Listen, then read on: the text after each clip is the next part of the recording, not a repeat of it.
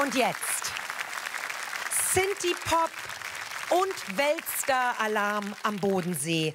Der Herr, den Sie gleich am Keyboard stehen sehen, der hat Depeche Mode unter anderem mitgegründet und er hat unter anderem I Just Can't Get Enough komponiert Vince Clark. Und der andere Herr am Mikro mit dem schlichten Anzug, das ist Andy Bell. Der hat eine so unverkennbare Stimme. Ich verspreche Ihnen, es wird Ihnen gleich eine Gänsehaut über den Rücken ziehen. Zusammen haben Sie 40 internationale Top-Hits gefeiert, über 25 Millionen Tonträger verkauft und Preise rauf und runter eingesammelt. Always, so heißt der Mega-Hit. Hier sind Erasure.